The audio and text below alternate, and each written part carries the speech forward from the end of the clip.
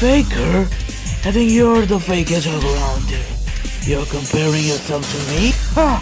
You're not even good enough to be my fake. I'll make you eat those words!